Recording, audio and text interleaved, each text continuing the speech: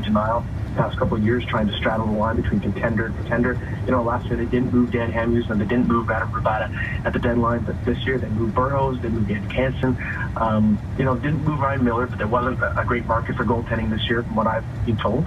Um, so it, it, didn't really surprise me there.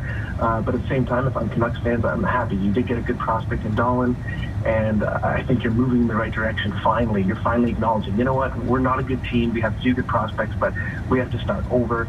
Um, and to me, what, what, what's really interesting about that is now we know this franchise is rebuilding. So what does that mean for the Sedins, especially next year? That's going to be a fun discussion um, as the trade deadline approaches next season.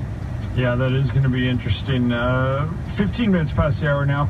Talking with Matt Larkin on the Big Show, TSN 1290. Matt, the goaltending situation here in Winnipeg seems to be, and that's why the piece of the article. Sorry, I didn't. I, I just assumed it was you that,